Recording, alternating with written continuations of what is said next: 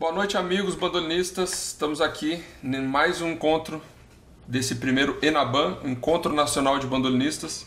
E hoje eu estou aqui com um amigo, parceiro, um empreendedor criativo, músico também, e um dos caras que está revolucionando aí no, no, Brasil numa área onde a gente até hoje não teve assim com, com uma força que um, com a qual ele está fazendo, está se empenhando, está trabalhando, está criando, enfim é, um acessório, um equipamento, um produto tão bem feito, com tanta qualidade, é, feito aqui no Brasil, desenvolvido, criado aqui no Brasil, né, que é o mais legal, é, que é o Vitor Scatena, aqui de Sorocaba, interior de São Paulo, que é o criador aí da VS Tanners Custom Machines aí, que são as, as tarraxas customizadas, né? Ele criou aí, a gente vai falar sobre o trabalho dele e sobre no que isso vem a favorecer nós bandolinistas, né? É, não só os bandolinistas, mas hoje especialmente a gente está falando do bandolim e quem toca bandolim já há algum tempo aí sabe que em termos de, de instrumentos a gente sempre teve é, luthiers, né? Agora em termos de, por exemplo, de tarraxas, a gente sempre teve que conviver ou com tarraxas de, de má qualidade fabricadas aqui no Brasil, é, ou então a dificuldade de importar esses, esses acessórios, né, esses equipamentos de fora do Brasil, pagando um preço caríssimo e não tendo um cuidado, né, uma, uma manutenção disso, nem uma, uma, garantia, etc. Né, e ainda pagando caro. Então eu fico feliz de estar aqui hoje, é, tendo a presença do Vitor nesse, nesse nosso bate-papo aqui no primeiro Encontro Nacional de Bandolinistas, já para mostrar que além dos bandolinistas além dos músicos, além de, de toda uma leva de, de, de, artistas né, que estão criando a música, a gente tem outros artistas que estão criando né, equipamentos e acessórios importantes para que a gente consiga criar a nossa música de uma forma mais eficaz, mais, mais tranquila, mais bonita, né, que a gente tenha facilidade aí na, na lida do dia a dia com o nosso instrumento.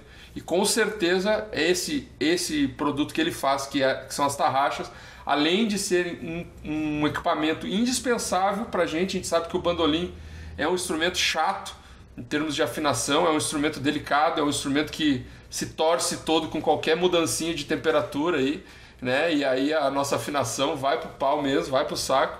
E a gente sabe a importância que é ter uma tarraxa de qualidade. Então estamos aqui hoje com o Vitor Escatena. Bem-vindo aí, Vitor, nesse primeiro Enaban, Encontro Nacional de Bandolinistas.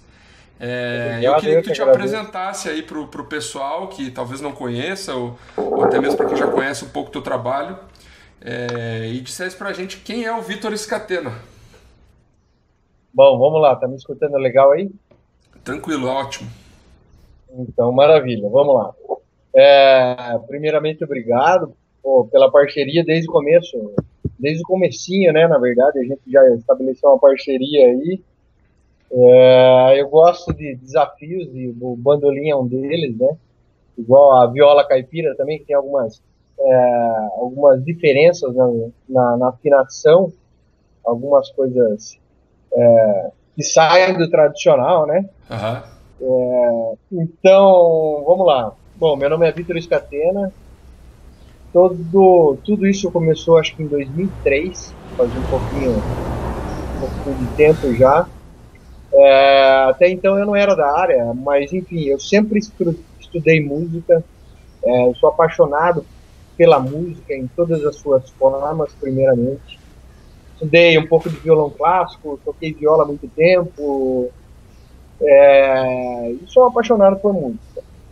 É, em 2003 eu mandei fazer um, uma viola num luthier de um amigo meu, e eu tinha necessidade, como os bandolinistas têm esse problema também, os violeiros também têm o problema da afinação. e eu senti a necessidade de, de, de fazer, de, de, colocar uma tarraxa diferente. Pô, primeiro instrumento de luthier que eu, estava mandando fazer e tal, e eu queria colocar um negócio é, bacana, né? um negócio diferente do, do que já tinha no mercado. Bom, descobri que não tinha, não existia essa racha no mercado naquela época. Em 2003 só existia a Deval, que fazia, nem as importadas existiam, né? Porque aí temos nessa época eu nem sabia que existiam os tuning machines, que são que fabricam essas tarraxas é, artesanais, né, como Graf, como Rogers, Alessi, entre outras.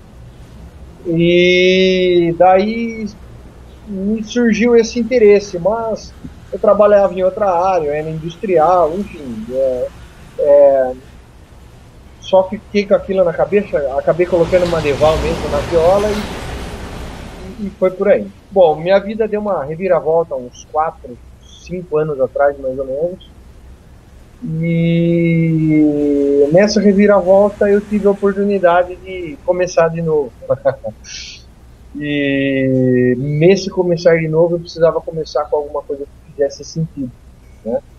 E a música eu não ia deixar de fora mais uma vez da minha vida. Como eu sou um péssimo instrumentista, é, eu, eu precisava me inserir no mercado da música de algum jeito. E eu, é, até então eu não era engenheiro, né? É, só tinha trabalhado muito na área, mas eu não, não tinha diploma de engenheiro, né? Hoje eu faço faculdade de engenharia, não terminei ainda, mas eu tenho outras duas faculdades. Mas eu sempre trabalhei nessa área industrial. Né? A gente foi, a gente teve indústria durante 50 anos, aqui em. Era como aquele músico que toca de ouvido, né? Exatamente, já não tenho diploma, mas é, hoje tá, eu tá estudo engenharia. É, é, mas eu gosto de estudar. Bom, é a terceira faculdade que eu estou fazendo. E, mas eu gosto de estudar e eu acho que assim é importante até para trazer, para gente não se acomodar, igual o músico, né? Eu acho que a minha meta também é voltar no conservatório o ano que vem. E, enfim, é, a, a, estudar acho que é sempre importante, né? A gente não sabe nada, na verdade. Exato. Qualquer assunto, por mais que a gente domine qualquer assunto, a gente não sabe nada. Sempre tem um, um lado para correr, para pegar alguma coisa nova e aprimorar, né? E dali ampliar o que a gente consegue fazer também, né? Dentro não, do que a gente se propõe. E exatamente. E quando eu comecei é, com o trabalho das tarraxas, Aí que eu fui pesquisar, aí que eu descobri que existiam os túneis machines, enfim. Eu comecei a pesquisar, falei, bom, como que eu vou fazer essa tarraxa? É...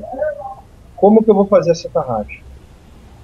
Eu pensei, estudei diversas formas, do jeito que já se fazia, é, do jeito que eu poderia fazer, e eu acabei optando por uma área que eu gosto. que é uma área de usinagem, né? uma área que eu sempre trabalhei, sempre tive contato. Então eu não queria fazer. É, primeiro ponto teria, teria que ser diferente. Né? Teria que ser um, uma tarraxa de qualidade, uma tarraxa exclusiva. É, os pegas de madeira foi o primeiro ponto que eu parti assim. É, os botões de madeira. Então foi esse primeiro, esse primeiro essa primeira ideia. Aí eu fui, na verdade eu tive que desenvolver tudo, tá? Eu comecei a entrar no mercado há praticamente um ano aí que eu estou começando a vender e tal, e, e é, nesse de um ano para cá, porque até então só estava desenvolvendo, só estava fazendo o, o, arquitetando todos esses processos, né? Desde elaborando 2003 processos. isso? Não, eu comecei, na verdade. 2003 2003 foi quando tu pegou a viola, né? Isso, foi a ideia, foi a ideia quando apareceu a ideia. Procurar eu engavetei. a tua viola, né?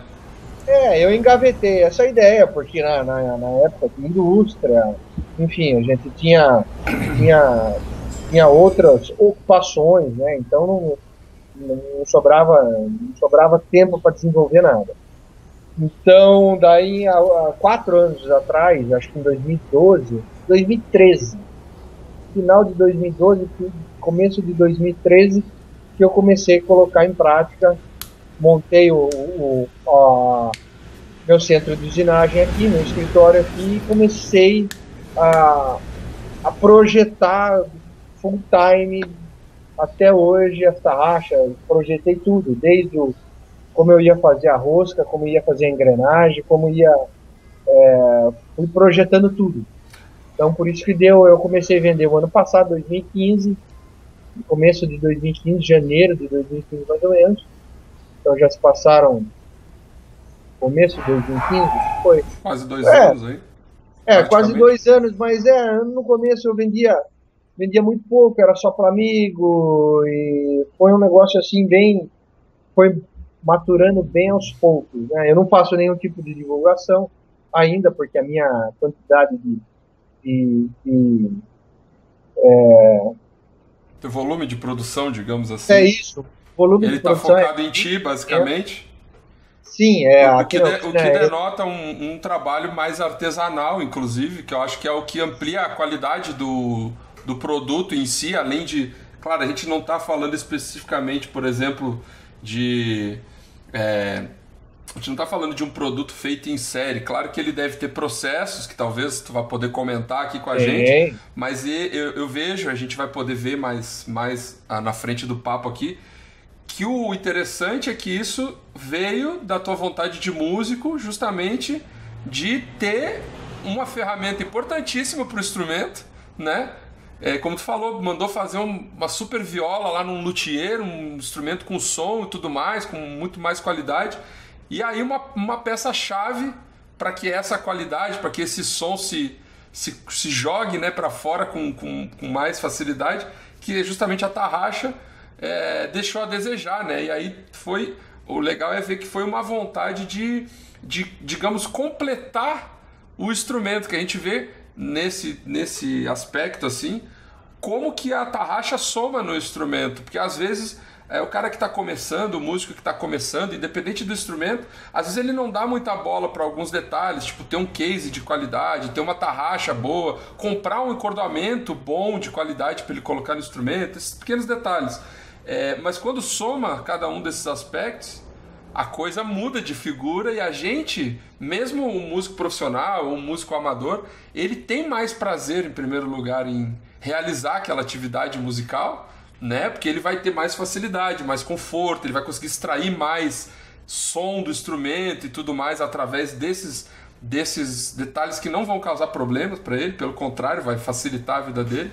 E a gente vê que a tarraxa é uma coisa importante. Se a gente não afinar o instrumento, se o instrumento não se Sim. mantiver afinado, não tem como tocar em nenhum nível, né? Desde o amador, do estudante, muito menos do profissional, né? É, é, é eu, eu acabei. Eu sou muito detalhista, sempre fui, até acho que na, na, na época de, de estudar música, né? Então, é, esse é, eu acho que é um ponto muito importante. E, e não só a tarraxa como um, um, meio de você afinar o instrumento, né? mas como também de, de não só de segurar a afinação, mas é, sabe, tem uma microafinação embutida, tem, são diversos fatores, não é simplesmente afinar, né? Então é igual um instrumento de luthier, não tem comparação com, com um instrumento de, de série, né? De loja, claro. são coisas que são coisas que não, não, não tem comparação. São detalhes que estão implícitos, tarraxa, mas que quando eles sim, botam para funcionar, ele faz toda a diferença, né?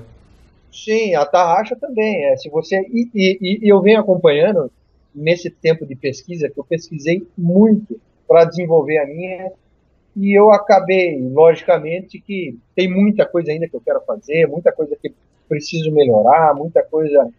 Eu só quero chegar na, numa máquina perfeita. Né? Só isso.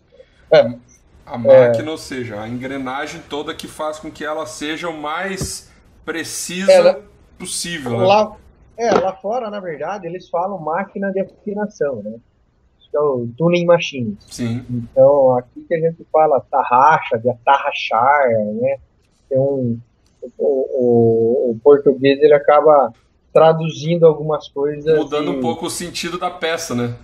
Exatamente, porque nada mais é que uma peça mecânica, né? Um que na verdade o, o tarraxa deve ser do, do como aquele sistema de parafuso de rosquear, mas é, a gente não tá a... tarrachando nada, né? Porque ele, ele gira, ele gira no infinito, ele fica parado, e, na verdade.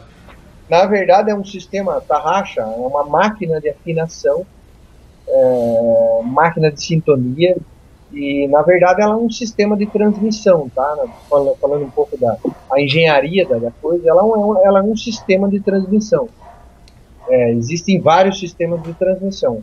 No caso da, da, da tarraxa, é um sistema específico. É uma engrenagem helicoidal e um, um eixo sem fim, ou uma rosca etc. Então é um sistema bem específico, né? É igual o carro, transmissão de carro, tem diversos tipos de transmissão de Mas carro. tem que ter, né? Aquela, aquela caixa de câmbio tem que estar ali, tem que. Né? Sim, não, e, e tem diversos tipos de transmissão também, diversos tipos de caixa de câmbio. Então, na, na, na evolução, a gente vê vários vários é, sistemas de transmissão e sempre está mudando. Sim. E eu tenho acompanhado também, nesse todo, toda essa pesquisa que eu fiz, que até os tunings machines mais famosos do mundo, ele também, eles também estão sempre evoluindo. É, eu acho que a Graf, não sei se é a Graf ou a Rogers, por exemplo, as engrenagens dele tinham 16 dentes. Hoje já evoluíram para 18. Não que isso seja a diferença na afinação. Tem muitas pessoas que fazem. Cara, isso daí eu tenho. Dá para escrever um livro sobre isso. Muitas pessoas é, fazem essa. Não confusão, mas. É, fala, mas a Tarras tem 16 dentes, tem 18 dentes, é melhor que a 16. Não é só isso que influencia na, na qualidade de afinação, tá? É, puta, é um, uma coisa infinita para a gente falar aqui. Sim, até porque eu, eu já tive aí contigo na oficina, é um processo de engenharia de até a gente vai falar sobre isso, de que tu cria, criou não só o maquinário, como para poder que, faz, fabricar, na verdade, partes de toda a tarraxa, de todo esse mecanismo que não se tem disponível, ou seja, tu criou inclusive partes que tu, que tu usa para montar todo o mecanismo, que é complexo, não é um mecanismo simples como a gente vê assim de fora, né? E que, e que e as especinhas bem pequenininhas que tu tem que encaixar no lugar certo, com a medida exata, com aquele lance todo bem estruturadinho, para poder, no final das contas, a gente fazer a parte mais simples, que é torcer para lá e para cá. A gente faz a parte mais mais besta, né? Que é... Mas para aquilo ali Mas... funcionar é todo um sistema complexo, né? Mas isso que eu acho legal, sabia? Isso que eu acabo analisando, eu sempre analiso. É igual. É, eu mexo com programação também, é igual você estar tá usando um computador, um aplicativo no celular. Você não tem ideia do código. Do que tem por trás para que tu aperte um botão e ele abra uma janela, né? Exatamente, exatamente. E funciona como você comentou. Eu tive que desenvolver muitas máquinas aqui. É, Para fazer o sem fim, a rosca do sem fim, por exemplo, eu tive que desenvolver uma máquina. Seria uma geradora de fuso, por exemplo. Mesmo uma geradora de fuso, para mim fazer a rosquinha do sem fim, cara, eu teria que pagar 200 mil reais uma geradora de fuso. Sendo que, mesmo se eu pagasse, comprasse uma máquina dessa por 200 mil reais, ela não ia me atender.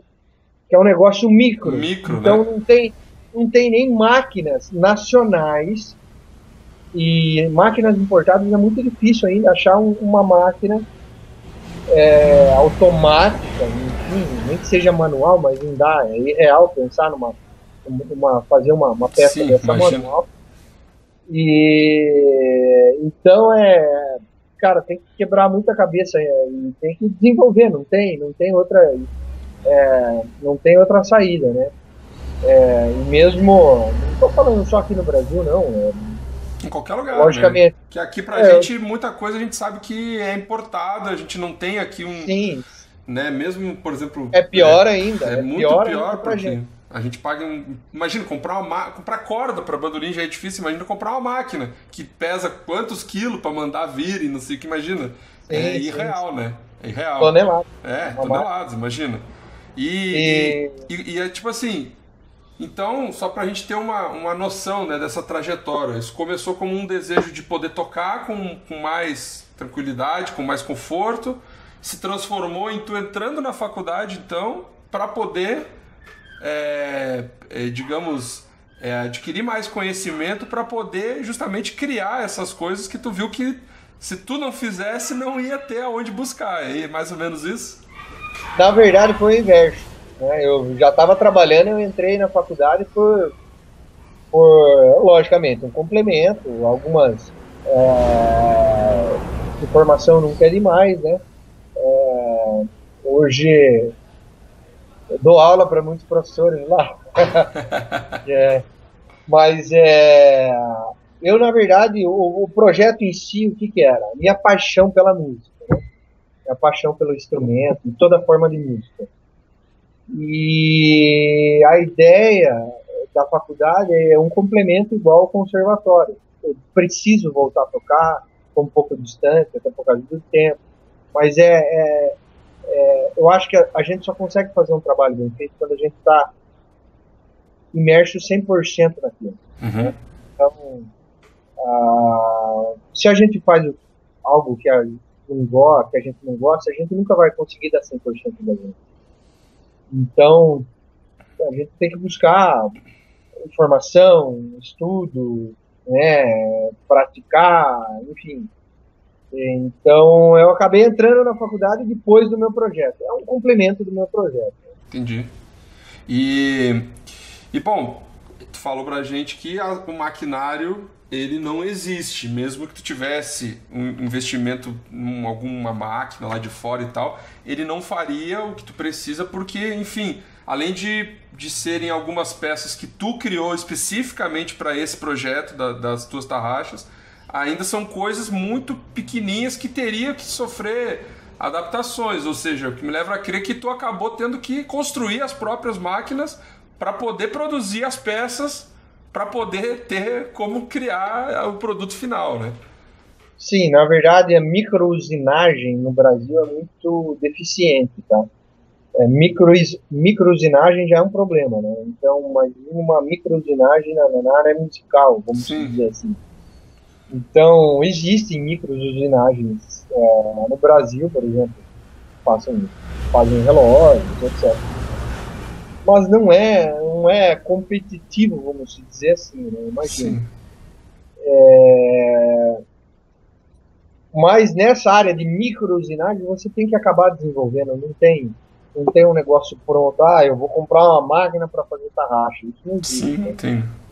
É uma, um, como eu falei, a, a máquina é composta por vários componentes, né? Engrenagem, parafuso, eixo sem fim, é, rollers, é, na minha tem o rolamento, é, enfim, a tem o processo. A própria pega de madeira, que é um outro processo à parte, madeira, o plate, é. a personalização, então, todos esses detalhes que, que, além de ser um produto, um acessório que muito eficiente, que entrega essa, essa eficiência, ele ainda pode ficar muito e, e, e fica na maioria dos, acho que 100% dos casos, cada um do, do seu jeito, ali meio do jeito do cliente, ou meio dentro da, das variações que Sim. tu cria, ele fica ainda muito bonito, né? O que, o que agrega valor a todo esse valor que já é a gente ter um conforto de poder tocar com, com essa tranquilidade de ter uma máquina ali que vai dar conta do recado, né? É, lógico, lógico.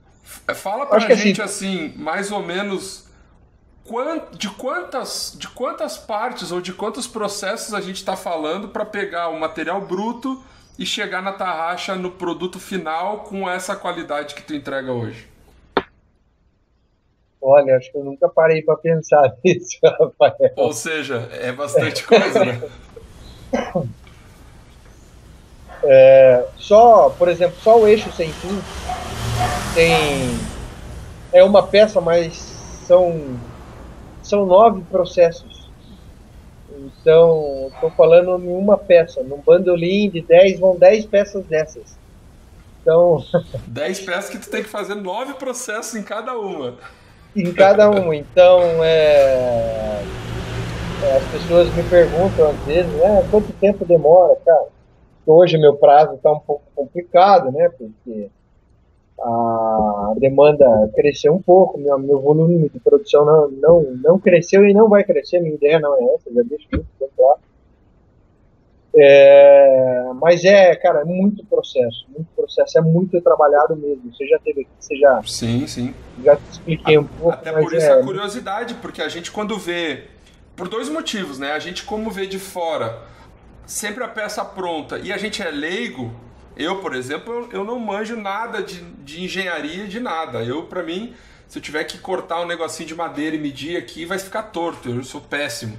não manjo, não, não, é, não tenho aptidão nenhuma para nada que exija medida ou calibrar alguma coisa. Então eu olho de fora, eu vejo pronto, o máximo que eu posso fazer é achar bonito e testar para ver se funciona ela pronta. Então, e acho que muita gente vê assim, né? Não, não tem capacidade de analisar quanta coisa, quanto processo, quanta, quanto elemento tem ali para que aquilo no final seja top de linha, né? E outro detalhe é que a gente sempre conviveu com é, um equipamento ruim. E aí, Sim. quando a gente convive com um equipamento ruim por muito tempo, a gente infelizmente se habitua a achar natural o ruim. Não né? tem parâmetro. Né? É, e aí quando a gente pega um troço top de linha, a gente parece que perde essa capacidade de análise, né, para poder entender qual que é a diferença entre uma coisa top de linha e uma coisa regular, uma coisa comum que está ali, que dura seis meses e vai dar pau, vai quebrar, que é feita de plástico, que sei lá, o que não tem o mesmo cuidado, que não tem a rosca infinita, ou enfim, são vários aspectos, né? Então a ideia é, é tentar perceber o valor disso, né? E no que que esse todo esse processo minucioso, desde lá de trás da concepção, motivado por uma paixão musical, que é isso que eu acho que é, é bacana, isso tudo que a gente vê hoje aí, ele foi gerado por uma paixão musical e por um gosto, uma aptidão natural por essa área da engenharia, da, da, dessa coisa que tu tem também, mas a gente vê que a paixão musical tá, tá ali embutida nisso, é, e a gente vê essa, esse pioneirismo também de do cara criar a própria máquina que vai fazer a criação das peças que depois tu vai ter que montar, enfim, né, fazer a jogada ali para transformar na peça final, né? Então o desafio aqui hoje é é porque eu quando eu, quando eu conheci só vendo as fotos é, eu fiquei impressionado, eu, eu gostei demais pela parte estética. Aí isso me levou a crer que tinha algo mais ali, né? Porque também não, não vai adiantar o cara pegar, é, fazer um troço tão bonito que não tenha consistência. Que não funciona. É, porque daí é meio que trabalho botado fora, meio que essa é, seria uma coisa inútil, né? Essa que é a foi a minha percepção inicial. Disse, poxa, um troço tão trabalhado daquele com um acabamento tão legal, isso não pode ter vindo do nada, isso não pode ser só a casquinha ali, isso tem que tem que ter um, significado além da, da parte estética, né? E aí a gente, eu lembro que a gente começou a conversar devagarinho, passou um ano, dois, e aí acho que tu ainda estava nesse processo de, de adaptação dos processos aí, das coisas e tal, até que eu consegui ver uma peça pronta, que foi a primeira tarraxa que tu fez para mim, com, com a gravação, aquele engrave e tal, babá, e que a gente já vê ali a, a justamente que todo aquela, aquele impacto que a gente viu no questão da beleza do, do equipamento, ele não é só isso, né? Ele, ele só chegou nisso como a cereja do bolo, né? Por dentro ali tá todo um processo, um cuidado para que quando a gente coloque ela no instrumento, ela faça a diferença, né? Então, mas como eu falei, é, é uma coisa difícil de perceber por falta de conhecimento técnico de, da maioria dos músicos, eu acredito e por, por ter convivido muito tempo com equipamentos ruins, né? Então a gente acaba se habituando com equipamento ruim. É... Hoje, por exemplo, para te produzir do zero uma tarraxa, é, basicamente que tipo de material que tu usa é, e, que, e que, que diferença tem o material que tu usa, por exemplo, é, para um material de uma tarraxa Deval que eu compro ali na loja hoje, que é o que tem disponível no mercado, uma Rossini, sei lá o que. Tá, vamos lá. É legal a gente falar desses processos aí. É, quando eu comecei a desenvolver as minhas tarraxas, primeiro, eu queria que fosse diferente e fosse um negócio que durasse. Né? É, analisando mecanicamente uma tarraxa, não quero dar nomes aqui, que eu acho que cada uma tem a sua função, tá? Cada um tem a sua, seu espaço no mercado e sua função. Mas analisando a maioria das tarraxas, é, vamos dizer, de série ou tarraxas de mercado, elas são de chapas prensadas, é, estampadas, vamos dizer assim. Uhum. É, o mancal o mancalzinho, aonde que vai, o eixo sem fim e tal, são essas tarraxas de chapa, são duas aletinhas que, que dobram na prensa e, faz, e, e, ali se faz o mancal que vai sustentar todo o sistema de transmissão. O que, que é o mancal, para quem não sabe? O mancalzinho, na verdade, eu estou falando da, do, do, mancalzinho do sem fim ali. Tá? É onde, é... A, é onde a, a rosca o... acaba dentro ali, segura isso, ela? Isso, isso. Eu não sei se, é, por exemplo, é, todo mundo já analisou uma tarraxa essa de, de chapa que eu estou dizendo, que ela tem, ela, ela tem um jogo, ela é banda, etc Sim. e tal. Então, esse sistema é, de chapa prensada, cara, é uma chapinha, é, é impossível você fazer, tirar muita coisa dali, entendeu? Então, estamos falando em resistência mecânica, estamos falando de, um monte de aspectos que um, por mais é, seja um projeto bem elaborado, uma chapa não, não condiz com. Não é consistente. Vai virar aquela Isso. tarraxa que a gente dá meia volta assim, ela ainda não puxou a corda. É, porque tem um, todo, todo, um sistema todo, todo com folga etc. Então, eu parti daí, na verdade. Eu comecei, como eu te falei, todos os meus blocos, todos os meus, o plate da tarraxa, a base da tarraxa, é usinada de um bloco maciço. Tu tem aí então, algo para mostrar para a gente como seria isso bruto, assim, antes de trabalhar? É um, aqui já tem uma parte usinada, mas vamos falar que esse bloco tivesse inteiro aqui. É um ela, bloco quadrado. Ela seria, ela seria quadrada o dobro dessa, dessa espessura aí, né? Aqui ela já passou por um processo, já onde usinou os mancais aqui e tal, onde Sim. vai os rollers aqui. Isso essa também aí. Essa aí, no caso, seria uma tarraxa para violão, por exemplo? Isso, violão seis cordas. Uhum. Violão clássico, normal. É, essas guias aqui eu acho de extremamente importância também. Eu acabei é, desenvolvendo, mas eu acabei analisando muitas tarraxas que existiam essas guias e eu não concordava com, com a aplicação dessas tarraxas. Eu falei, não, tá errada a aplicação. Né? Vamos dizer, uma Schaller, por exemplo. É, essa guia, ela é, o, o roller é mais, é mais grosso do, do, do que essa guiazinha. Uhum. Então não tem muita função, só tem função de, de mancal ali dos rollers, mas não função de, como eu já te expliquei uma, uma outra vez, de, de os parafusos na verdade, os parafusinhos de fixação da, da tarraxa no, no braço do instrumento, nas minhas tarraxas é praticamente simplesmente é, de enfeite ali, é só de fixação mesmo, porque toda toda a, a, a tensão das cordas ela é sustentada por esses por esses mancais aqui. Que ele é maciço onde... no plate aí, como a gente está vendo, né? Exatamente. Então, analisando, na verdade, todas as tarraxas que tinham essas guias, é, as aplicações eram diferentes ou erradas, vamos dizer assim, né? Por exemplo, na Schaller a guia era menor, menor do que o roller. Então ela não tinha. Quem acabava sofrendo essa, essa tensão acabava sendo o roller e não a. E ele desgastava a, é, é, mais rápido e acaba dando folga. É, é, então só servia como mancal e não como mancal e, e, e, e suporte, né, de, de, toda essa afinação. Até porque a pressão que faz em cima é grande, porque a gente sabe que para afinar, por exemplo, um bandolim, a pressão das cordas é gigante, né, o peso a, que gera. A tensão de um, de, de um bandolim é imensa, né? É igual de uma viola, do, do até de um, de um, cavaquinho, cara, é imensa. É imenso, porque ele quanto menor, quanto menor a escala. É, aí é, a gente já, é, com relação às, às, ondas vibratórias, etc. Mas, cara, enquanto menor a escala, o negócio vai ser. A gente né, precisa pode... atingir uma certa, uma certa frequência ali de, de para você tirar a nota, né? Sim. É, cara, tem uma tensão absurda. É né? absurdo. Né?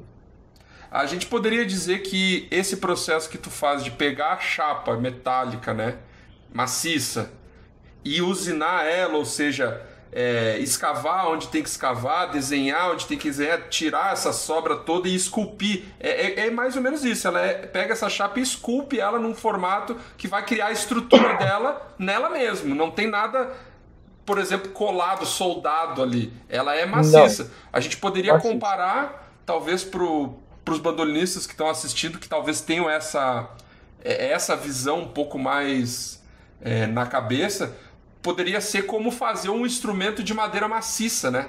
E não Isso. aquele de chapa laminada, que a gente sabe na luteria, né? Quem toca qualquer instrumento, a gente sabe a diferença que faz em termos de som, de timbre e também de estrutura. Aquele instrumento que acaba empenando, que acaba o tampo rachando com o tempo, com muito pouco tempo às vezes.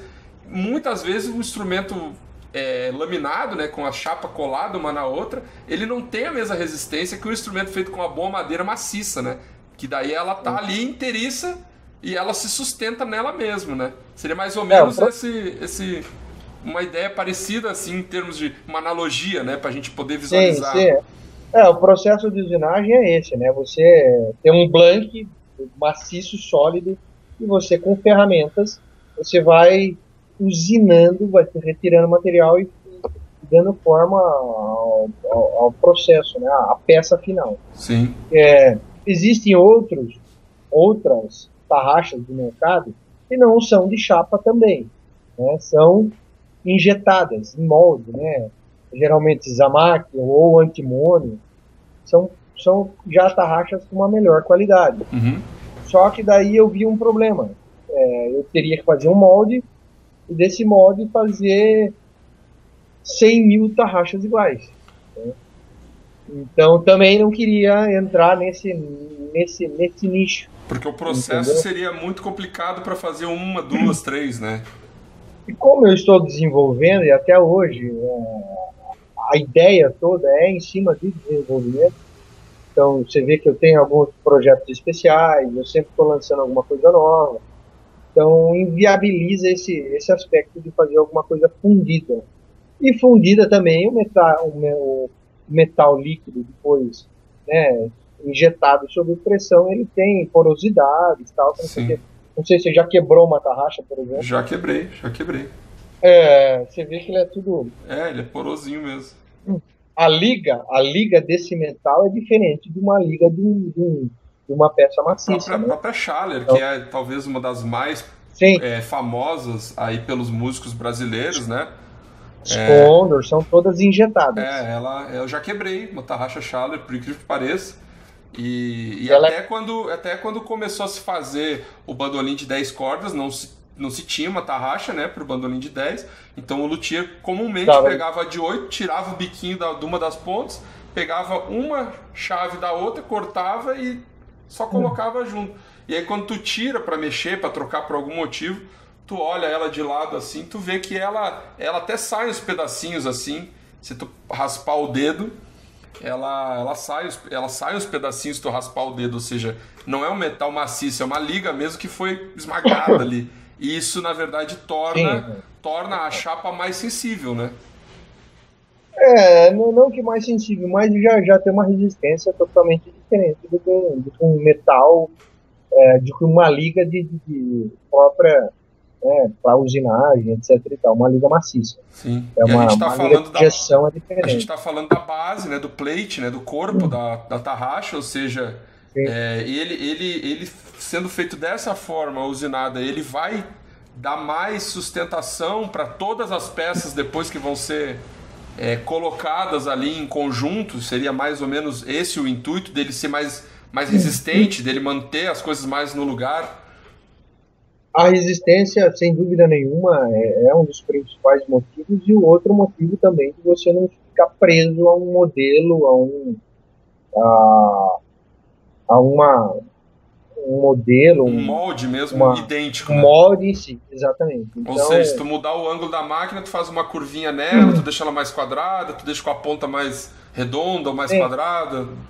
Exatamente. Dá para desenhar, exatamente. então tem o trabalho artístico envolvido também, né? E tem, e tem, e tem o outro lado, né? Se eu fosse partir para alguma coisa injetada, eu não, eu não poderia fazer o trabalho que eu faço final dela as gravações, as gravações feitas à mão pelo meu amigo, parceiro, o Rodrigo, Rodrigo Silva, que ele é um, ele é um engraving, é, pouquíssimas pessoas sabem o que, é isso, né, no Brasil, mas é o, o cara que faz trabalhos em metais na mão.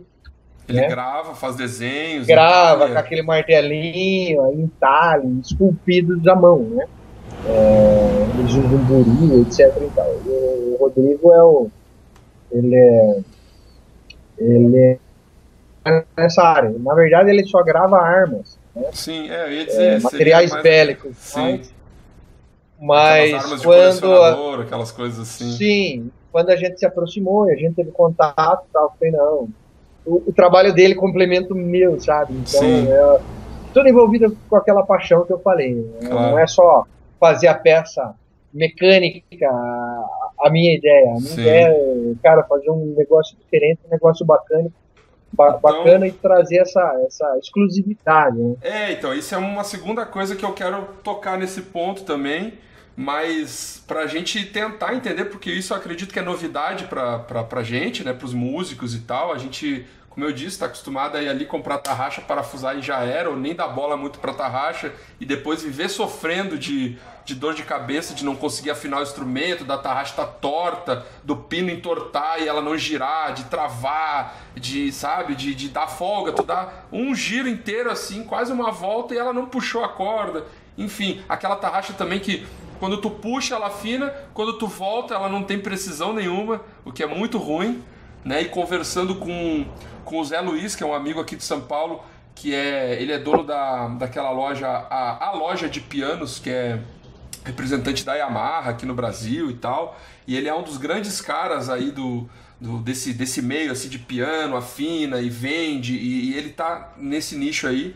É, e ele falou para mim um dia, ele me viu afinando o bandolim, ele disse assim: Cara, por que, que vocês afinam puxando mais do que a nota e depois. Ou seja, ao contrário, por que vocês desafinam mais do que precisa e afina puxando? Por que vocês não afinam o bandolim conforme o que precisa? Se ele está muito baixo, puxa. Se a nota está muito alta, frocha ela até ela ficar no lugar. Aí eu parei para pensar, eu disse, pois é, isso é um vício, né? Isso é um hábito. Aí a gente conversando, é eu disse pra ele, cara, isso é tarraxa ruim. Por causa que esse hábito de frouxar mais, mais do que precisa, passar batido na nota e afinar ela sempre para frente, sempre puxando a corda e nunca frouxando a tarraxa de trás para frente, isso é um vício porque a maioria das tarraxas ela não funciona ao contrário. Ela mal, às vezes mal e porcamente funciona puxando. E aí quando tu volta, ela dá folga, ou ela não tem a mesma precisão, ou ela trava. E aí ele me falou o seguinte, ele falou assim, e ele como sendo um, cara que já grande afinador de piano também, já afinou piano para um monte de gente, já botou afinou piano pro Steve Wonder, pro Elton John, para não sei quem, para caras fodas assim. Ele falou, cara, afinar o instrumento é uma arte. E ele falou assim: claro que tu vai depender da mecânica do, do dessa peça que está aqui, mas ele disse assim: tu sabia que a afinação ela é muito mais precisa justamente quando tu está voltando a corda Sim, frouxando, tá... é, quando tu tá relaxando o instrumento e não quando tu tá puxando, que quando tu tá puxando, tu tá tirando ele do estado normal dele e tá tensionando. Quando tu tá afrouxando a tarraxa, tu tá relaxando o instrumento, ou seja, ele tá voltando para o estado normal que ele deveria estar. Tá, e a hora que tu soltar a nota ali, a tarraxa, e ela afinou, ele não vai mexer para nenhum lugar. Agora, quando tu puxa ele, tu tá tensionando e aí a, a, a, ele tende a relaxar de novo. E aí esse relaxamento ele vai desafinar um pouquinho. Então ele falando isso, eu disse, meu Deus, é, é, nunca tinha passado isso pela minha cabeça. Mas eu falei para ele, cara, isso é problema de usar tarraxa ruim. Aí, depois de, sei lá, um ano e pouco, dois anos assim, a gente se encontrou umas vezes tal, mas depois de um tempo, assim, mais de um ano até. Fui no aniversário de um amigo e ele tava, amigos em comum, assim. E a gente fez uma rodinha ali, começou a tocar e tal com esses amigos, no aniversário desse amigo lá. E aí depois ele veio falar comigo, ele falou: "Ah, eu percebi que tu não tá mais puxando como tu tava aquela vez lá". Eu falei: "Ah, mas olha agora essa tarraxa aqui". Aí eu mostrei para ele. Eu disse: "Agora eu posso fazer aquilo, inclusive aquilo que tu falou, quando eu pus essa tarraxa aqui, no caso a tua, né, pela primeira vez, eu comecei a mudar o jeito de afinar o instrumento, de, de, de, de lidar com ele, graças a, a, essa, a essa dica que ele deu e graças a ter o equipamento que me permitisse buscar essa precisão e tratar melhor do instrumento. Também tem isso, né? Tu tra acaba tratando Sim. melhor do instrumento. Tem muita gente que pergunta assim: Cara, eu devo desafinar o instrumento toda noite quando eu vou quando eu vou guardar ele depois que eu toquei? E aí eu falo assim, cara, não. Ah, mas será que se eu deixar afinado ele não vai empenar? Não, cara, se tu afinar e desafinar, afinar e desafinar, afinar e desafinar, aí que ele vai empenar. Daí eu sempre digo assim, ele vai virar um fole de gaita, uma sanfona. Aí os caras dão risada, mas é, é mais ou menos isso. Porque, imagina, uma puta pressão que tu faz quando tu afina e depois solta tudo e afina de novo no outro dia. Então, tipo assim, é, tem essas, essas, essas coisas que às vezes as pessoas não sabem e que, claro, muitas vezes é motivado também por ter um, um, um, acessório ruim ali no, no seu instrumento. O cara acaba ficando com problema, umas notas desafinam, as outras não e tal, blá, blá, blá. Mas é, tu como engenheiro, acho que também pode, pode é, analisar esse, essa coisa da, do puxar a afinação, soltar a afinação. Acho que tu tem conhecimento disso também, porque tu toca, né? E que isso faz todo sentido, né? A gente tem o equipamento para não estragar o instrumento no final das contas, né? E, e quando a gente conversou sobre esse, esse assunto, e eu, eu, eu, também nunca tinha, é, na época, nunca tinha prestado atenção mesmo. E é um vício, né? A gente é, desafina para depois chegar na afinação. E, logicamente, a corda não só a corda, como o instrumento todo, ele reage melhor quando você está é, relaxando, né?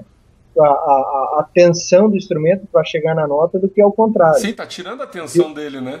Exatamente. Então, mas não é só isso que, que, que, cara, tem, como eu te falei, essa parte dá pra gente escrever vários livros, não um livro só. É, primeiramente, esse, o, o sistema de transmissão que temos na tarraxa, qualquer tarraxa do mundo, tá?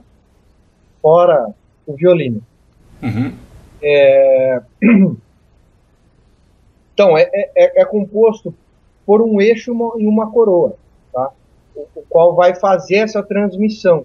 Então, da onde do, do, do, dos botões da pega ali, né, do sem fim, para o eixo, para o eixo da onde você enrola a corda, o eixo uhum. de encordoamento, folha, enfim. Então, esse sistema é um sistema muito específico. Cara, eu nunca vi um sistema desse isento de folga. É, eu estou trabalhando nisso arduamente, mas eu vou falar que a minha não tem uma folguinha mínima é mentira. Uhum. Tá? Esse é um sistema muito complexo e eu não cheguei no, no, no no, na onde eu quero chegar ainda. Mas é, dá para ele se eliminar essa folga? É, 99,9 eu acho que sim. É, em todas as tarraxas do mundo que eu já analisei, até nas, nas tarraxas é, importadas aí, famosas, cara, existe folga, uma folga sim. mínima existe. Esse sistema de transmissão, devido a esse eixo e essa coroa, é, essa tangente tem que ser muito trabalhada, é um negócio extremamente de, de cair o cabelo. Então, mas você pode é, ir reduzindo essas folgas. Né? O meu tem uma folguinha mínima que eu acho que em breve, mais um ano aí, eu, com a evolução dos maquinários, tal, não sei o que, eu acho que eu vou quase isentar isso, mas não é só isso que faz a diferença na afinação. Uhum. Como você comentou, é, na hora de afinar também, né? É, o que, o que, se acontece também quando você não chegava na afinação, por isso que era esse vício. É. Nessas tarraxas tinha, tinha uma folga exagerada, tá? Na minha é quase imperceptível. Se eu não falar, ninguém vai saber. Mas é, nessas outras tarraxas era a, a folga era monstro. É. Então por isso que a, a, gente acabava pegando esse vício, né? De, ah, Exatamente. Volta, volta, volta. Mas é, também é, com relação a esse, esse negócio de, de, você aliviar essa tensão e chegar nessa, né, nesse hertz ideal né, é, que você precisa. E também, e também no caso dos rollers, né? É, eu vejo muito problema com isso, é, de não ter essa guia, como eu expliquei nos pleitos da minha tarraxa, é, o pino ali ele acaba sofrendo uma tensão e, e, ele acaba se deformando. Também isso prejudica imensamente a afinação. É, estamos falando de tensões altíssimas. Sim, mas cedo ou mais tarde vai dar um pau ali de. É, entendeu? E tanto de virar, desafio, sabe? Isso daí, cara, e estamos falando de uma peça delicada, né? É igual você querer, sei lá, enrolar um cabo de aço é, numa engrenagem de relógio, sabe? Sim, é, faz sentido. É, é, é bem delicado. É. Então, então tem, tem, tem, várias situações que fazem com que seja difícil. A microafinação também é uma delas. Sim. É, eu falo que todo o meu, todo o segredo das minhas peças está onde você não vê. Não é, não é onde você consegue enxergar. Eu falo que todo o segredo da minha peça está no cálculo. Uhum. Isso aconteceu, não sei se eu já comentei isso com você ou não.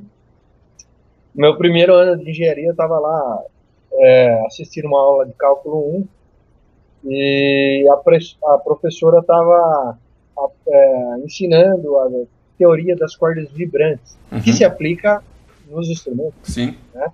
Desde uma ponte de um cabo de aço até no instrumento, a, a teoria das cordas vibrantes ela é aplicada e ela estava ensinando a fazer a integral, as derivadas, tal, não sei o quê, e mostrando eh, na, na fórmula da teoria das cordas vibrantes. De alguma forma aquilo me chamou a atenção e eu comecei a estudar sobre aquilo, esmiucei o máximo, deixei os professores do cabelo de pé lá na época e acabei trazendo isso para a música uhum. em si. Então, é, eu falo que é, por isso que é, tá todo segredo, assim. Está embutido na, na, na, na, no cálculo das minhas engrenagens, meu sem eu consegui calcular uma engrenagem é, mais precisa para a escala musical. Tá? É, então, então, a hora que o cara está afinando, tá, ele, ele, ele, ele, ele tem uma, uma, essa microafinação mais mais suave, mais então a divisão de hertz para você chegar nessa microafinação nas linhas tarraxas acaba sendo mais precisa, vamos dizer assim, né? Ou, ou, seja, traduzindo em miúdos, o mínimo movimento que eu fizer no eixo aqui, girando a pega da tarraxa, ela vai mexer o mínimo também da corda. Não vai ser aquela tarraxa que eu vou ter aquela puta folga e não vou nunca saber quando eu preciso o mínimo, que acontecia muito também com essas tarraxas ruins, eu preciso, eu tô quase na nota, eu preciso um mínimo só para chegar nela. E ela passa lotado. Aí passa o que acontece? A volta é muito pior do que a ida. Aí eu tenho que voltar pra caramba e trabalhar sempre com uma margem. Ou seja, é, o que tu isso, tá dizendo é que esse é cálculo, é micro... esse, cálculo, é, esse trabalho também. todo é para evitar isso, é pra gente ter essa precisão, né? Girou um pouquinho, ela vai um pouquinho. Girou muito, ela vai um muito. Ou seja, ela vai exatamente conforme né, o, o, o, o tanto quanto ela for é, rosqueada ali, enfim, é uma precisão maior mesmo, né? E seguir a escala, a escala de hertz aí, vamos dizer assim, né? Não é só. Você não consegue andar de, de ponto 1, ponto 1 hertz, né? Uma virada, por exemplo. Então, ela, ela seguir essa escala nessa afinação, vamos dizer assim. Ou seja, é, um, é realmente uma coisa de tirar o cabelo Sono. fora, né? Porque é, a, gente, a gente não tem a noção. Então, é, depois, quando a gente pega, eu lembro que quando eu peguei, pus o instrumento e, e fiquei um mês tocando, trocando corda, fazendo show, estudando em casa, puxa, a diferença foi gritante, porque é outra coisa. É esse papo de ter essa precisão e tudo mais, nossa. E outra, a concepção das minhas peças é é uma concepção diferente do que tem no mercado. Então, o grande lance é isso. Seja do plate usinado, de um bloco, seja de como eu faço é, as peças, né, os rollers, é, enfim. Então, é uma concepção totalmente nova, né, uma concepção é, diferente, né. Bom, a gente... É igual antigamente, né? Ah. Igual antigamente, antigamente se tinha. Hoje acho que é, o pessoal faz as coisas, eu acho, pra estragar mais rápido. Né? Sim, é. Obsolescência programada, Antiga... né? Antigamente Cara, eu tinha uma tarraxa. 50 anos, né? Sim, e eu, eu tinha uma tarraxa num violão Delvec que eu tinha aqui antiguíssimo, sabe? Sei lá, de 1800. Cara, 1800, né? Isso eu já tô exagerando, mas eu acho que era mil, começo de 1900, assim, era bem antigo mesmo. Cara, tinha uma tarraxa extremamente antiga, cara, de madrepérola, coisa mais linda, cara, pesava um, muito pesada até, porque era, cara, era metal, cara, Sim. e ela funcionava até esses tempos atrás, sabe? Olha só. É, então é uma, uma concepção né, diferente, né? Diferente do que a gente tem hoje. Hoje em dia, cara. Tudo meio descartável, assim, né? cara, é, exatamente. Cara pouco, aí mais gente vai comprar, e, só que ao mesmo tempo vai estragar mais rápido, vai ter que ir lá comprar de novo. E a gente sabe é, toda então, a dor de então- cabeça que é isso, né? Então hoje, hoje, é por isso que a loteria hoje em dia, eu acho que não só por esse motivo, mas a loteria hoje em dia está vivendo um, um, momento de auge, né, dela, né? É, e outra, ninguém aguenta mais tanta merda de instrumento, né? É. Merda de instrumento, merda de corda, merda de tarraxa. Então a galera acaba porra, já é difícil, um negócio totalmente difícil, né? De você estudar, você tem que ter uma, uma, uma um, totalmente uma dedicação, né? Pô, já fazer com um negócio ruim já. É, e o exemplo, o, o exemplo que eu sempre dou, porque às vezes o pessoal também pergunta assim, principalmente um aluno e tal, e fala assim, pô, mas eu queria um bandolim que nem esse teu, por exemplo. Ah, mas é muito caro. Eu falo para ele, cara, o caro, ele é o seguinte: imagina que tu quer correr a Stock Car tá? Campeonato de Stock Car. E o teu carro é um Fusquinha 68, cara. Tu nunca vai conseguir correr Stock Car com Fusquinha 68. Desculpa, tu nunca vai conseguir ganhar um milhão de reais na, na corrida das 24 horas lá. Com Fusquinha 68, tu vai ter que investir num carro que tem potência. Paciência, entendeu? A grande diferença que eu falo é as pessoas elas não percebem que elas comprando o equipamento, seja ele qual for, seja corda, que eu também estou numa briga aí para a gente ter umas cordas decentes no mercado. É case é óbvio, é muito importante. Case, enfim, os acessórios, né? Mas é óbvio que, por exemplo, para a gente ter um, um, um acessório com tanta qualidade, é óbvio que ele vai ser mais caro. Agora, é, as pessoas focam, ah, não, mas é mais barato, eu vou comprar mais barato. Só que o mais barato, daqui a seis meses, quebrou, sei lá, deu pau, tá com folga, pifou, não gira mais, caiu o pino. Imagina, eu já tive amigo meu que caiu o pino da tarraxa, Schaller, caiu a borboleta, ó, pega. O cara ficou com a chave de fenda, teve que achar uma chave de fenda para afinar assim antes do concerto. Tá no camarim ali, quebrou, uma, porque é de plástico, racha, sabe? Fica, fica duro, racha com o tempo, é colado. Enfim, então são pequenos detalhes e que muita gente já viu passar por problemas parecidos. Então são muitos detalhes que o cara vai no barato e aí toda vez ele tem que comprar um novo. E ele fica tendo problema.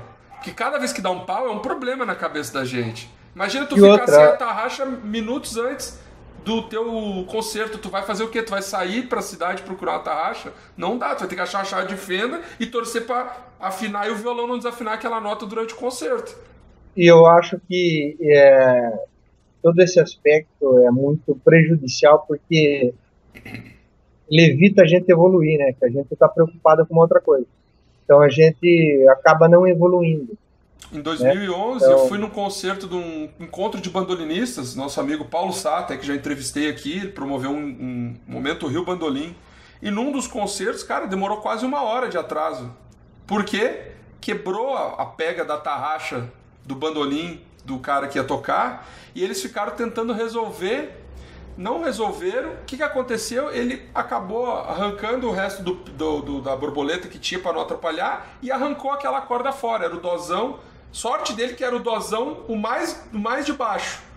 O primeiro, ele arrancou fora sabe? Senão ia ficar meio descoordenado o instrumento, já ficou sem uma corda do par, já fica ruim. Ah. Mas, tipo, e ficou quase uma hora naquilo, já tava todo mundo meio de saco cheio, porque coitado do e é cara, é horrível, tava... É, ele tá tentando É horrível resolver. tocar sem uma corda Pô, também, é... Total. Né? Porque o dedo ele faz o ataque naquela Sim. no meio da corda. Quando tem só uma, tu é. muda todo o teu cérebro, né?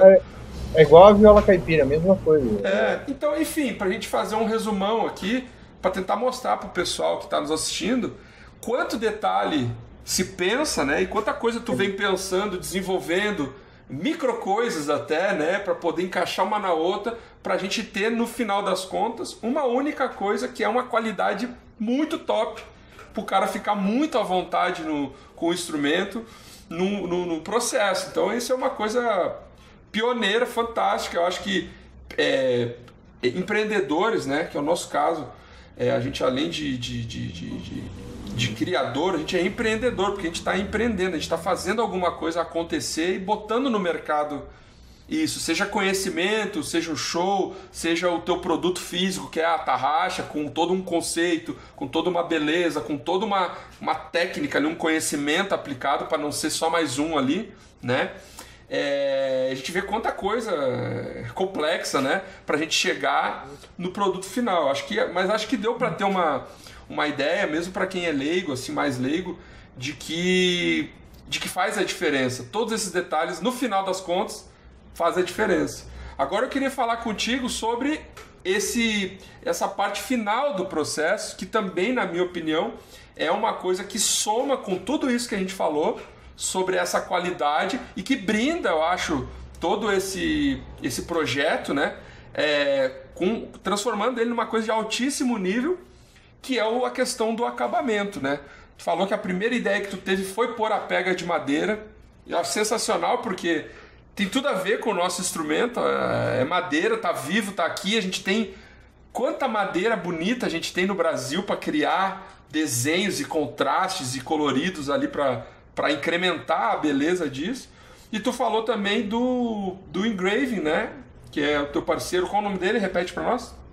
Rodrigo Silva. Rodrigo Silva, ele faz também que é, é um, up, assim, é um plus que o cara pode ter e que, na minha opinião, é o, a cereja do bolo, porque tu Sim. pode produzir é, uma coisa extremamente customizada para aquele músico, né? Ele pode ter ali, sei lá, a letra do nome dele, é, o nome do filho, o nome dele, um desenho específico que ele gosta, uma inicial, uma cor específica. Conta para nós como que é esse, esse, essa gama de possibilidades que também tu desenvolveu aí junto com o Rodrigo, junto com a tua criatividade toda aí. Cara, na verdade não tem fim isso, né? É, essa parte de gravação handmade, né, a mão, isso daí não tem fim, né? Eu venho acompanhando o trabalho do Rodrigo, já faz oito anos que ele trabalha nessa área, ele é o único, praticamente o único master engraving no Brasil, que é, se você procurar isso lá fora, você vai ver que é muito difundido, principalmente na Europa, esse, esses ornamentos em metal, isso daí existe há, cara, Sim, isso vem, vem desde, desde antiga, a antiguidade. Né? Os caras forjavam armadura, espada, né? Sim. Inclusive o meu, ah, o meu então nome, né? Que é, meu nome, que é Ferrari, né? Ele é, ele é descendente de, um, de, uma família medieval que é os, os Ferrara, né? Que são os ferreiros que eram caras que na Idade Média justamente tinham esse, esse nome porque fabricavam armaduras e, e espadas e, e, coisas pro lidavam com metal. Olha que doido, né? Então essa essa parte de ornamentação no metal é, é muito, cara, é muito antiga, né? é milenar. Então, a, por exemplo, a espada que você comentou, a armadura é, do rei era toda ornamentada, com detalhes, e a, e a do soldado lá era lisa e não tinha nada, mesmo a espada. Então essa parte de ornamentação é, cara, é muito interessante. E quando eu vi o trabalho dele e pô, fui atrás, a gente se conheceu, virou amigo primeiro e tal, é, eu achei uma possibilidade assim imensa em fazer nas minhas peças, né? Hoje a Graf, a Graf faz um trabalho parecido. É, eu tento sempre me basear nas melhores máquinas de afinações do mundo, né? Como a Graf Tanner. A Graf ela faz um trabalho parecido. Ela, você tem a possibilidade de escolher as gravações. É, gravação máquina, gravação é, a mão 1 e gravação a mão 2. Ele só trabalha aquele desenho, mas é sempre o mesmo desenho. Eu já saí um pouco dessa, dessa área, então eu sempre estou fazendo um desenho desenhos. Diferente. Exatamente. Sempre, eu não tenho. Ah, daí as pessoas me perguntam assim: ah, mas tem um é, um catálogo das gravações, cara, não tenho. Como geralmente eu faço? Ou você dá uma ideia do que você quer, ou geralmente eu deixo a mando do, do Rodrigo mesmo, né? Eu acho que nada mais ele para saber o que, que fica legal ou não. Mas é uma coisa que então, dá para discutir. Por exemplo, se eu tiver uma ideia, eu posso chegar para ti fazer um esboço, ou tu mesmo fazer um esbocinho assim no papel, no computador, sei lá, pode, ter uma ideia pode, e, e levar pro cara. Dá para fazer isso aqui, dá para realizar e tal. Por exemplo, na tarraxa do Lenine, eu fiz o cara, o retrato do disco dele lá, o Carbono, que era um, um, um artista plástico que tinha desenhado, a mão e tal, eu fiz aquele mesmo desenho no, no, no plate, no da, plate tarraxa. da tarraxa. Então era a cara do Lenine e tal no, no plate da tarraxa. Então, cara, a gama é, é infinita. É, então dá para fazer o que, o, o, o, que, o que se imaginar, dar uma ideia. Eu geralmente sigo mais ou menos o que o, que o Rodrigo gosta, o que eu gosto, e é, e é assim que a gente vai fazendo. As iniciais é uma coisa né, totalmente exclusiva. Ah, eu quero que faça inicial, tal, isso sem problema. Então é, é dá para fazer de tudo. De tudo Questão de, de, tipo de metal, cor do metal, se o metal é fosco, se o metal é brilhoso, tem, tem essa possibilidade também, né? Tem essa possibilidade também. É, hoje eu trabalho com três tipos de banho, tá? Do banho das peças o banho de ouro, o banho de prata e o banho ônix grafite ou ônix negro, que é aquele banho cinza escuro. mais preto escurão. Isso. Cara, o ônix, o, o, o, o, dourado, o banho de ouro que eu faço, é... todas as tarraxas são douradas. Eu, eu já gosto de fugir desse dourado porque, cara, é o tradicional. Você vê que eu gosto de sair bem do tradicional. Então, a composição que eu acho muito bacana é o dourado das, das engrenagens, do sem fim, com o preto da chapa. Né? Dá um contraste, né? Eu acho que fica. E, e, a gravação nesse metal preto, ele vai ficar, as gravações vão ficar todas douradas, cara. Eu acho que a, a melhor né? combinação. Sobressai, fica bem destacado. E eu acho que é a melhor combinação hoje, que é do meu agrado, né? Mas isso, o cliente. Se o cara quiser um tradicional, amarelinho, beleza com gravação, sem gravação, enfim. Sem gravação, com tal madeira, enfim. Por exemplo, a, a, nossa a gente vai fazer aí do, do, nosso do instrumento novo que a gente tem aí que o Regis está terminando, vai ser vai ser aquela vermelhona. Vou usar uma Muirapiranga, que é a madeira falso, pau Brasil, é. Isso. Que ele é bem avermelhado, é, bem avermelhado, né? Bem Vem igual uma de, de cavaquinho que você viu que tem aqui também.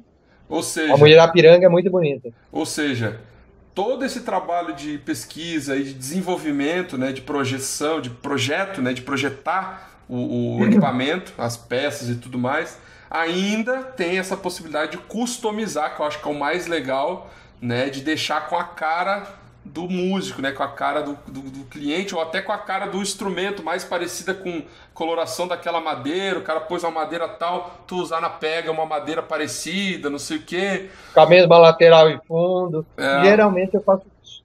Então, geralmente eu, eu, sigo a combinação de madeira com a, com a madeira da, da lateral e do fundo do instrumento. Show de bola. acho que fica assim bem harmônico, bem negócio bem único, né?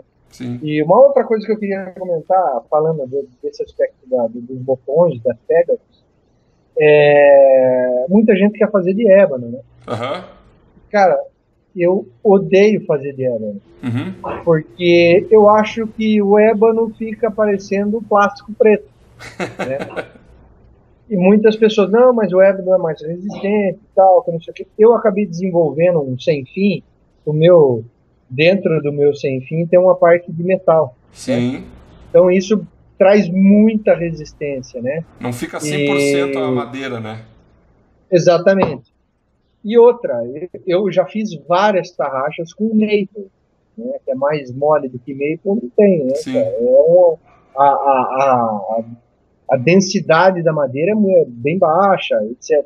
Já fiz com, com diversas madeiras, né? É, então, não é a, o ébano, que é uma, tem, uma, tem uma densidade maior. É o né? sistema mesmo que tu criou que vai deixar lá Tam firme ali. Também, já fiz infinitas tarraxas com, com, com Maple, com, com, botões de Maple, e cara, nunca deram problema. E outra coisa que eu queria falar com relação às minhas tarraxas, é, a ideia sempre foi fazer um produto vitalício, sabe? Vai acabar o instrumento e a tarraxa não vai acabar. A ideia é exatamente essa. Hoje, hoje eu me sinto confortável a dar é, cinco anos de garantia e tal, mas é conforme eu vou evoluindo essas garantias. É que é fazer um negócio, cara, para durar mesmo, um negócio Saquei. bem bacana.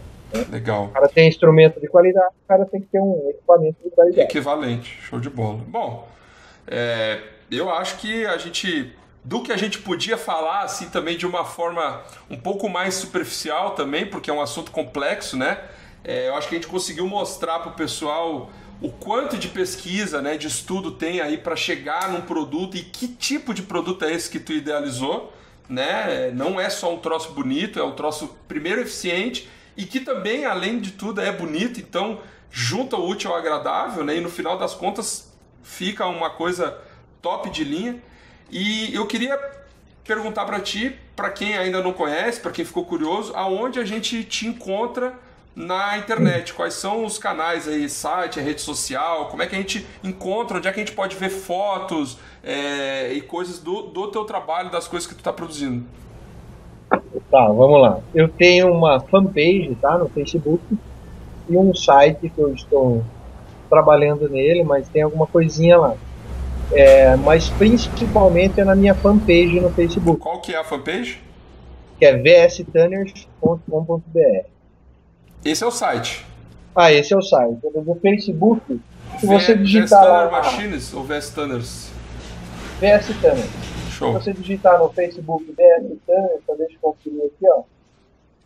Então é www.facebook.com né, tá rolando barra VS isso, barra VS Tanners. Show de bola. Lá tem foto, dá pra curtir o que tá, as coisas Cara, lá, coloca lá lá eu coloco muita foto lá, então lá é, é onde eu trabalho. Tem muita gente que me adiciona lá, o Vitor Escatena, meu Facebook particular, que às vezes o pessoal é, prefere conversar por lá tal, mas eu posto poucas coisas no meu Facebook particular. Eu posto mas na tudo lá na... dá para mandar mensagem igual, dá para dá para mandar mensagem, dá para dá para falar tal.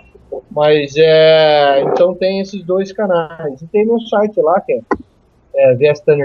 é, mas é, eu, lá eu estou mexendo, estou trabalhando. O que eu mais uso mesmo, a divulgação é do o Facebook mesmo. Para quem não tem sabe, ou para quem tem. não tem também, tem gente que não tem Facebook, às vezes pergunta, mas para quem não sabe, quando tu digita o endereço correto da página, por exemplo, nesse caso aqui, facebook.com.br vstanners, tu não precisa nem estar tá logado no Facebook, tu consegue ver as postagens de uma fanpage. Tu não consegue tá ver de um perfil, mas uma fanpage ela é pública, ela é profissional, né? Então é como um site. Tu consegue ver sem ter conta no Facebook. Pode entrar lá que tu vai ver as fotos na timeline lá e vai ver muita coisa bacana, né? Meu Instagram também, tá? Eu posto algumas fotos lá também. É só digitar lá VS Tanners, também vai, vai achar no Instagram. É... Eu acho que é isso. Show. E, e, e, aí tu tá situado em Sorocaba, né? Interior de São Paulo. Sorocaba. Então, ou seja, Sim. Quem ficou curioso, quem quiser bater um papo e, e tá pensando em dar um upgrade aí na, na tarraxa do seu instrumento, é aqui, um dia o Sedex tá na casa do cara. Aprontou a tarraxa, no outro dia tá, tá na casa do cara. Porque é diferente da gente comprar importado, não vai ter taxa de alfândega, não vai ter surpresinha depois, o Kinder Ovo com surpresa, né? Chega lá a cartinha do correio com a surpresinha extra, demora um monte, o correio perde, não sei o quê. Enfim, toda uma série de vantagens que eu acho que desses parceiros com os quais eu venho trabalhando, contigo, com o Reis, com o Noé, com o meu amigo Jonatas lá do Harmonic Microphones, o o Rick Cortez da, do Gold, Gold, Pro, Gold Pro Captadores, é, toda essa galera e também o, o Strings, né? Toda essa galera. O mais legal de tudo é que somos todos brasileiros, estamos produzindo dentro do nosso país. Então é o jeito mais fácil, a gente pode se encontrar. Se o cara quiser ir aí na tua oficina, ele pode ir, se ele tiver de passar, te conhecer aí, ver como é que é o teu trabalho e tal. É possível o cara combinar contigo, fazer isso? Pode, pode, completamente. Eu estou com um projeto, eu acho que para o ano que vem, quem sabe, estou é, querendo fazer um estúdio também aqui na oficina para ter alguns instrumentos, para a galera vir tocar aqui também. Legal. Então, mas é só me contactar se quiser por aqui, se quiser vir visitar, sem problema nenhum, a gente marca um dia. É, como você sabe, meu trabalho é meio meio meio intenso aqui, mas é, eu sempre tiro um dia para atender, tiro, a gente combina certinho, vou explicar tudo e tal, e para mim esse contato é muito importante, né? Legal. Com o músico, com o luthier, é, isso daí é, é bem bacana. Mas... E, e, só assim a gente vai conseguir é, chegar no que, no que eu quero. Sim, até né? porque um conseguir a perfeição. Exatamente, exatamente. E chegar na, na, na, perfeição máxima em num instrumento pro, pro músico como você é, exibir toda toda a arte, né, toda a paixão e sem ter um problema com, com o instrumento, com, com a peça, com qualquer acessório. Legal. Bom, então, antes da gente se despedir, eu queria, antes de te agradecer e tudo mais, até queria que tu deixasse pra gente aí um. É, dissesse pra gente, os bandolinistas que estão assistindo, o que que tu acha, como tu vê, é, é, o que que tu acha sobre esse primeiro Enaban aí, nosso encontro nacional de bandolinistas? Cara, eu acho fantástico essas coisas. Eu adoro. Tinha que ter um desses por semana de, de, de tudo quanto é instrumento, tudo quanto é, é músico, né? Isso daí, cara, é, só tem a agregar, né? Rafael, é, isso é muito importante para o pessoal que está desmotivado, para o pessoal que já toca, né? E, e, é um enfoque diferente. Cara, isso é fantástico. Né? Tem que ter mais iniciativas iguais às suas aí. Eu acho muito importante. Legal. Então, Vitor Scatena, esse bate-papo com Vitor Scatena, idealizador aí, criador da VS Tanners Tarraxas Customizadas. É, muito obrigado, cara. Eu sei que tu separou um momento aí no, no meio do teu expediente para falar com todos nós que estamos aí te assistindo. Eu sei que a correria é bruta e, e, e graças à tua competência também, essa criatividade, o teu empreendedorismo, e a tua paixão pela música, o teu trabalho está sendo bem reconhecido, está com demanda, as pessoas falam bem e realmente o teu trabalho é fantástico. Então agradeço por tu ter compartilhado com a gente é, o teu tempo e o teu conhecimento aí em torno da, de todo esse estudo, até para a gente se educar também, para a gente é, ter esse, um pouco desse conhecimento, para poder dar mais valor também para esses aspectos que às vezes a gente não, não dá muita bola e que no final das contas eles acabam fazendo a diferença negativamente. Então, para a gente se educar, para poder passar a dar mais importância, para que isso faça a diferença positivamente no nosso trabalho, no nosso estudo, nas nossas aulas, no nosso, enfim, na nossa arte que a gente cria na música e expressar o máximo a, a nossa paixão através da música. Então, obrigado pelo, pelo bate-papo aí. Acho que todo mundo é, vai gostar e achou fantástico aí saber um pouquinho mais e também perceber a importância que é a gente ter cuidado com todos os aspectos e a tarraxa sendo uma peça fundamental aí, é um acessório importantíssimo para a gente ter um conforto maior para poder expressar nossa arte. Obrigado, Vitor. Imagina, eu que agradeço. Só tenho a agradecer também. Valeu. Valeu então. Grande abraço. abraço. Até uma próxima.